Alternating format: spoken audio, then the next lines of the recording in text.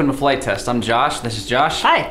And today we have the ArduPilot 2.5. 2.5. Today's a big deal. Yeah, it's like a robot that you put on your aircraft and you just don't do anything. You- It just you You tell it what to do and it does it for you. You sit back and you watch. We're getting replaced, folks. You know, pretty soon these things are gonna be flying on themselves. But you know what? It's so much fun to build a quadcopter and have the features of stability, uh, return to launch, um, safety features. Because you know, although this is a three dollar frame, we have a lot of money in this thing. Right. We don't want to lose it. That's right. We want to have the best opportunity to bring this back home as safely as possible. And for you guys out there that are just getting into quadcopters and, and tricopters, and even for that matter, this works on airplanes too. Mm-hmm. You want to have the security knowing this thing it's at a flip of a switch will stabilize Right. and, and help you out. And that's what the ArduPilot 2.5 does for you. You go into oh crap mode and it comes back home. You know what? They should call it oh crap mode because I think that's when you'll probably be flipping some of the switches. You'll be flipping more than that.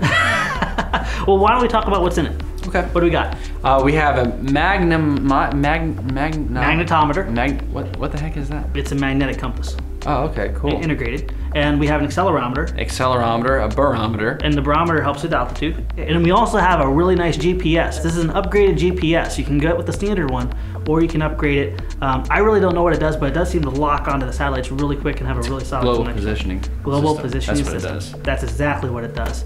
So we got that, and you know what? Why don't we take a look at this? All this is integrated except for the GPS, but there's a little cotton ball there. You want to talk about that? You want to guess what the cotton ball's for? Does it come like that? No, it does not come like that. But it is an important note. Um, if you do not have this covered on your system, when you fly on a windy day, like you know, it's always windy this part of the year in Ohio, is. the barometer will spaz out on you, and that's normal for all barometers. It's not a problem. But what you need to do is make sure if it's out in the open, that you cover it with a little piece of gauze, because sunlight and wind, from what they say in the notes, will affect your barometer. Okay. So, so you don't have any wild pitch changes and everything. Go ahead and take a little piece of gauze and a little piece of tape over it and uh, cover it up. It's it's not a boo boo. It's not like it got nicked when it was shaving or anything. Why would it have been shaving? I know, that's just crazy.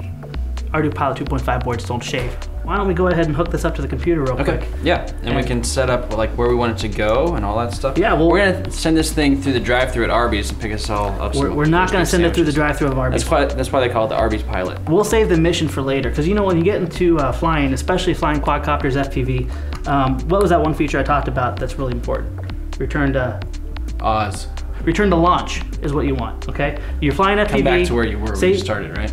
Exactly, exactly. It's, it's coming right back to where the plane was launched off of.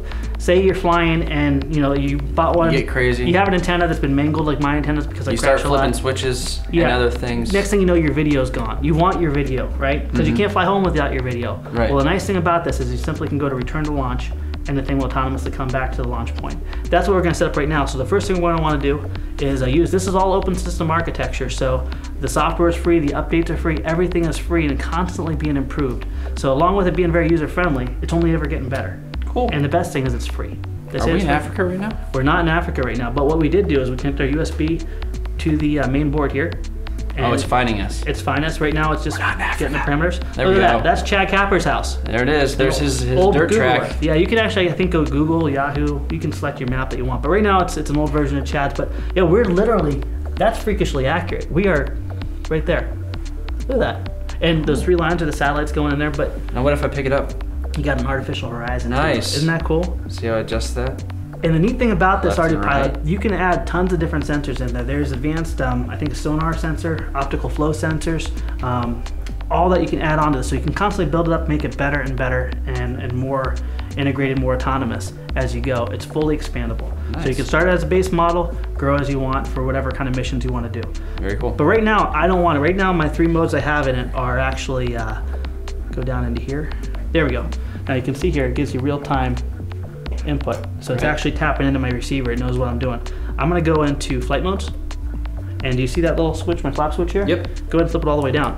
Now you see it's in circle mode right now. Yes. I don't want it in circle You mode. don't want that? That's the one I want to return to launch. Okay. So I'm simply gonna go down here, go so, to you, RTL. so you're setting each switch for what you want it to the do. position I want it to be in, just Okay. like that. Now, if you go to the middle one, click it up one switch, that's position hold mode or loiter mode. Uh-huh. And then all the way at the top where it's actually set the default, that's stabilize mode. Now, quick note for you guys, always set up your, your uh, quadcopter in stabilize mode. Don't go into acro, which is like old school. Stabilize mode will give you, when you take your hands off the sticks, auto level, and it won't really stop, but it, it'll take it out of danger zone. So always go in stable modes, always have that as a default. Take it out of danger zone. That was beautiful. Who is that? Kenny. What's his name? I don't know. All right, so we got to return to launch. So our three positions are stabilize, loiter, which will just keep it in one position, and the final one is the panic mode. If I lose video or something, return oh to crap launch. mode. The oh crap mode. Maybe we can talk to them and have them change it because I like oh crap mode better. All right, we're gonna save our modes. Right there, it's complete. We're gonna disconnect. All right, so what's next after this? Stop talking about boring things and go fly. Yes. Okay. All right, let's go. You need a computer? Nope. All right, so as you can see, it's a windy day in Ohio. Yeah, but it's nice. It is beautiful, and this is a good chance to see. This is stock setup. Uh, No PIDs have been adjusted, uh, but right now everything is purely stock. All right, so this wind will be a good test to see how well it loiters, how well it returns to home, basically how well it flies in heavy right. wind. Okay. Let's do it. All right, you want to turn this on here? Yeah. Now, important thing to note: whenever you do return to launch, the GPS lock is going to be where you activate or arm your motors. So I'm going to try to move it a little bit away from where we are right now. Okay. So you don't want it to land on your head. That would be awkward, wouldn't it? Yeah. Now, one thing also you want to do is you want to make sure you have a good solid GPS lock. And according to the instructions, you want a solid blue LED on your control board and your GPS. So make sure you have a solid blue because, Did you check? well, it'll take a minute. It takes about 30 seconds. to Are you minute. gonna check after that? I will check after that. So before you fly though, you don't want to go lift it off and fly because it'll fly normal, it'll alarm, unless you set the parameters where it doesn't alarm until it has a GPS because you do have that ability. Okay. Uh, but make sure you have those things locked in really well. And one reason why I have loiter from stabilized mode is if loiter works, most likely because that uses GPS, the other one will work for you as well. Okay. All right. So let's go ahead and see if it uh, if it works here. Guess he's gonna go check that out. Doesn't take two people to see if there's a blue light on. But apparently it takes him a few seconds to figure it out. You need help? No, we're good.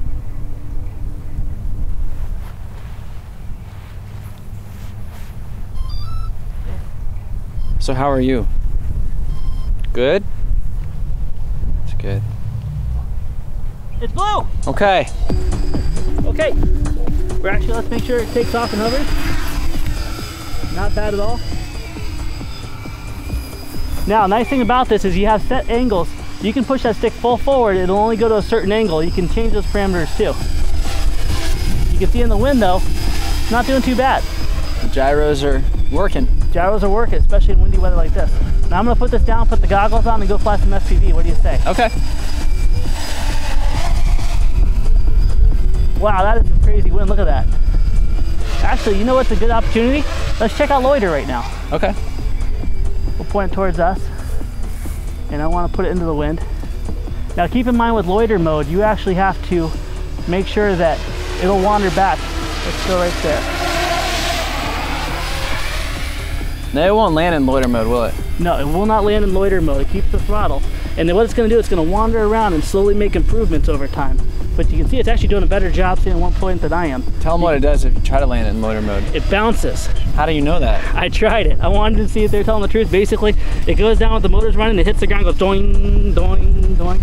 But you can see it's doing a pretty impressive, isn't that like a rap thing? Yeah.